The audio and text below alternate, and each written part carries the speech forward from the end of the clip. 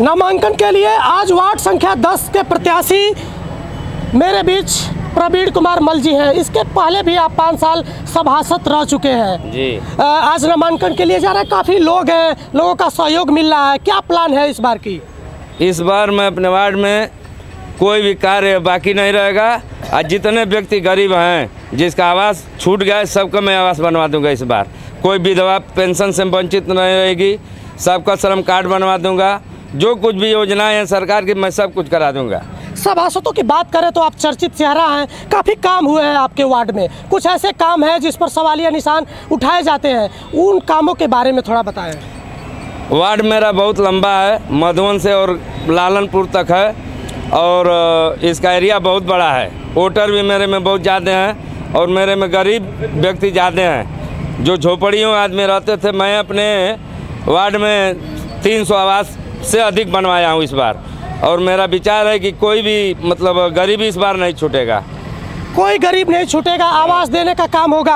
आवास तो काफ़ी संख्या में दिए भी गए हैं। लेकिन अब जो बाकी बचे उनको भी आप देने की बात कर रहे। हैं। ऐसे वो मुद्दे लोगों लोग जानना चाहते होंगे जो। बड़े मुद्दे हैं आपके वार्ड के। हम्म, मेरे वार्ड का नाली है न, मतलब नाली पास हो चुका है। माननीय जोगी जी नाली को पास कर दिए हैं पैसा भी आ- मुक्त हो गया है। काम इलेक्शन बाद चालू होगा।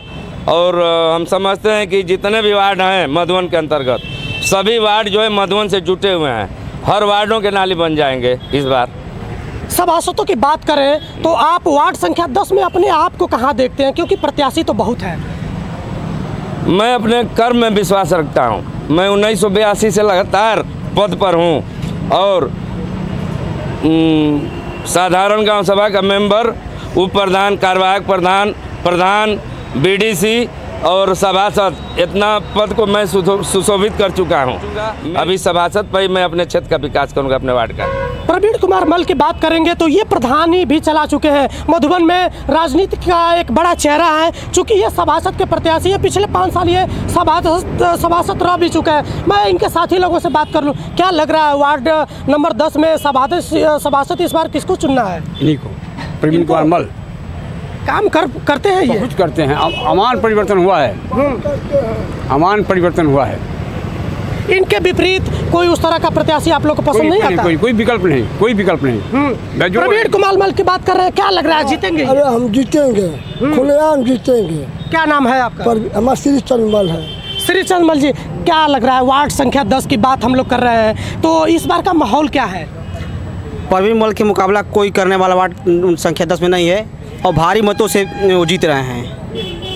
जितने शांत स्वभाव से आप ये वीडियो में इनको देख रहे हैं, उतना ही काबिलियत है इनके अंदर। लोग पसंद करते हैं। वार्ड संख्या 10 के बारे में जब आप चर्चा करेंगे तो उन चर्चित नामों में इनका नाम आएगा और इस बार देखते हैं, ये तो रिज़ल्ट के बाद पता चलेगा कि वार्ड संख्या 10 के 10 की जो जनता है, वो किसको सभासद चुनती है। अगले किसी वीडियो में फिर मिलूँगा। तब तक के लिए धन्यवाद।